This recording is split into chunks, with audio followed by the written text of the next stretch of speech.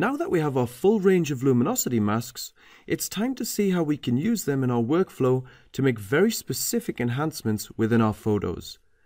As we saw in the first video, we can target areas based on brightness to lower highlights or bring out details in darker areas. In this lesson, we're going to take that a step further. We'll look at making even more targeted contrast changes using different masks, including midtones. And in the end, we'll have given our image much more mood and balance. Firstly, looking at the image we have in front of us, the highlights in the sky are quite strong, but we have no underexposed areas, which is great. To begin with, we have to run the luminosity mask actions. Go to your Actions dialog and open up the JM Luminance Mask action. Select Generate Luminance Masks and press Play. If the actions don't run smoothly in one go, make sure this box is unchecked. If it isn't, uncheck it and start the actions again. Our first task is to bring down the highlights and add some warm colour to that overexposed region. So we want to target the sky and some of the foreground water. Firstly, let's unlock the background layer. Now we'll go into our channels palette and look through the brights channels. It looks like Brights 2 will be ideal for that selection since much of the overexposed part of the sky is whitish and the highlights in the foreground are light grey, meaning they will only be partially affected by the changes. But the shadows and darker midtones won't be affected because they're darker in the mask. Holding Control or Command on a Mac and left clicking on Brights 2, we now see our marching ants. Press Control and H or Command and H to hide them.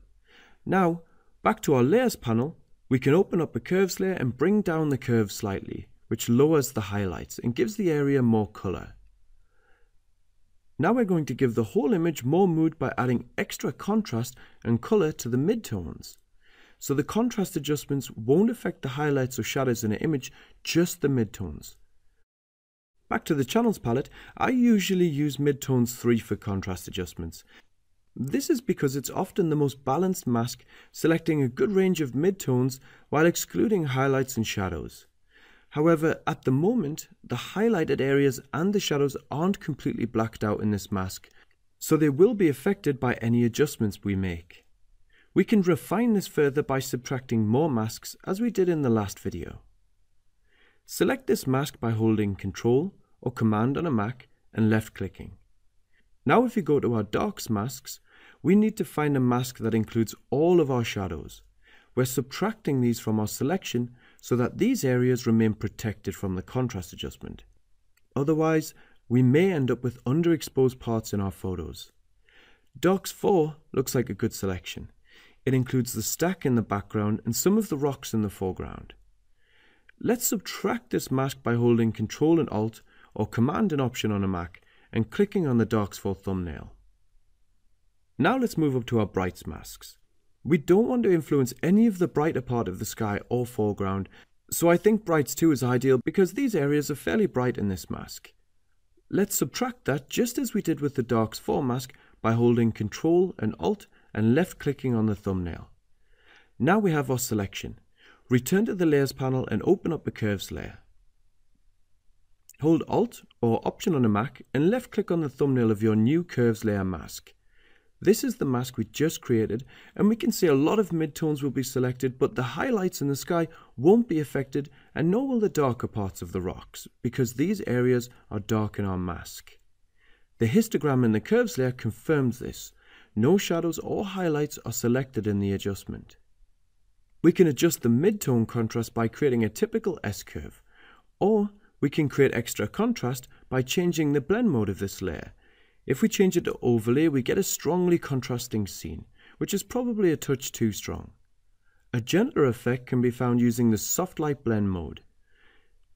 This one change has added some lovely contrast and mood, and if you feel the change is too strong, you can always adjust the opacity of this layer to suit you. Now we've created more contrast within the midtones, let's add some brightness to them too. The image is a tiny bit dark, but again, we don't want to affect the highlights or shadows with this change. Let's reselect the mask we just created by holding Ctrl and left clicking on the curve layer mask. We now have our selection back. This time we'll open up a brightness layer. we'll just slide the brightness along slightly to increase the general brightness of the image. Now I'm going to group these changes by selecting both layers and by pressing Ctrl and G and name this group midtones. So this is a before and after comparison. There's much more contrast in colour now. You may find you want to deepen the shadows slightly, in which case we just need to go to a darks mask like darks 4, select it and open another curves layer just as before. We must be careful not to darken those shadows too much.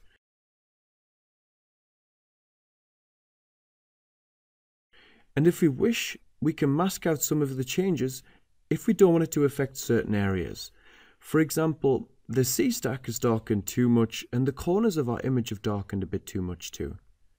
Now we've produced three targeted contrast adjustments with luminosity masks and completely changed the feel of the image. I'm going to group our previous changes and call this new group contrast. Now we're going to draw out some detail within our image. In the Actions folder, you'll see the Detail Enhancer action set.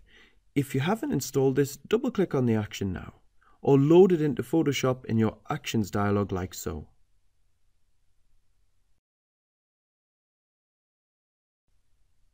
So we're ready to use our detail enhancer, but it's important to know that any form of detail enhancement will create a number of problems in our images. Mainly, it'll exaggerate any noise in your image, and secondly, it can often lead to white edging around objects. We can often avoid both of these problems by placing a luminosity mask onto the detail enhancing layer. Let me show you what I mean. We can run our detail enhancer by making sure we have the main image selected and then going to our actions dialog to detail enhancer and selecting start.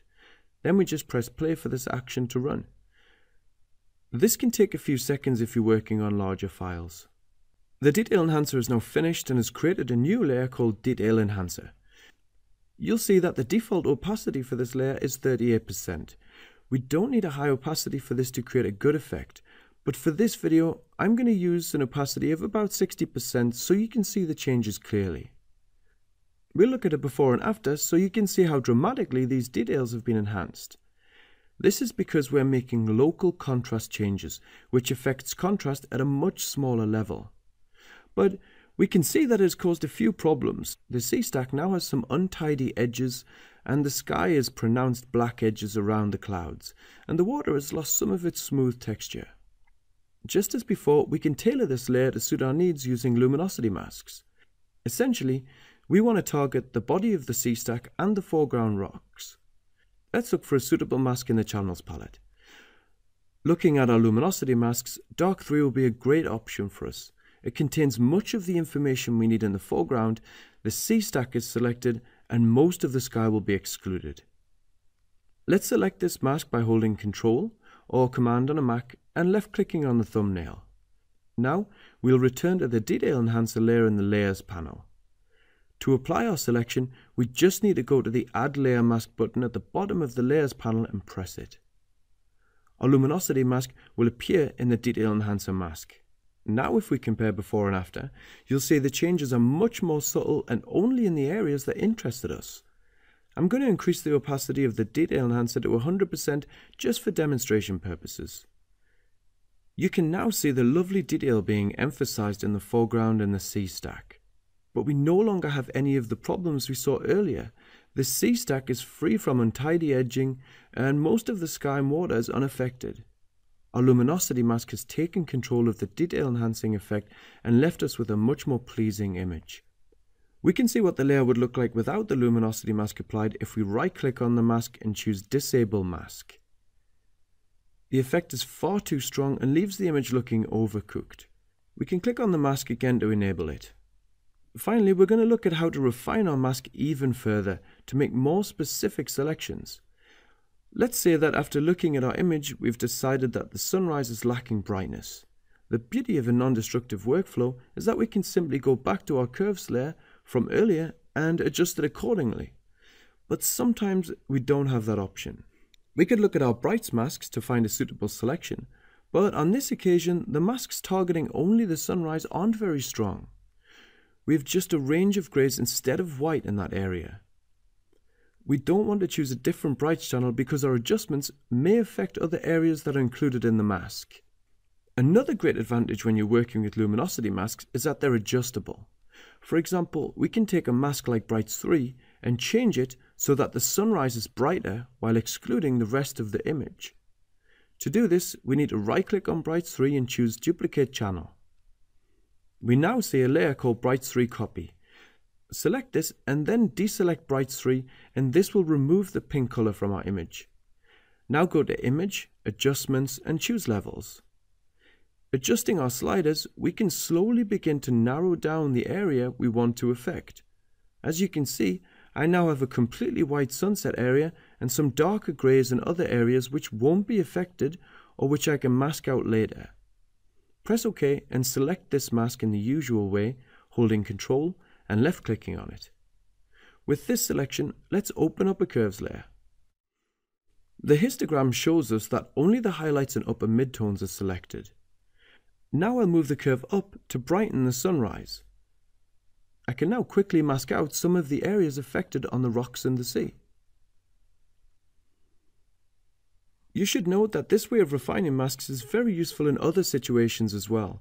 If you're shooting a model with darkish hair against a light background, you can make even the finest selection around small loose hairs in this way.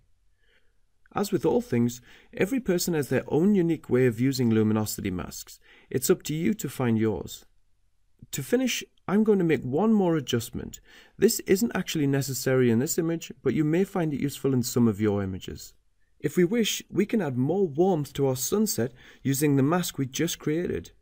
We can do this by holding Ctrl and left clicking on the curves layer mask to reselect our mask, and then opening a photo filter. Going to warming filter 81, I'll move the slider all the way along to 100 to show you the effect. We can see that only the area selected now has a warm colour. This is a great way of applying a warm colour cast without taking away natural colours from other parts of the image. Neither of these last two changes were really necessary in this workflow. They were just used for demonstration purposes, so I'm going to delete them and drag our detail enhancer layer into the contrast group. Now here's one final before and after to show you how powerfully luminosity masks have altered this entire image. In the next video, we'll be able to apply the techniques that we've learned now onto a beautiful Milky Way image and we'll be able to refine those techniques further.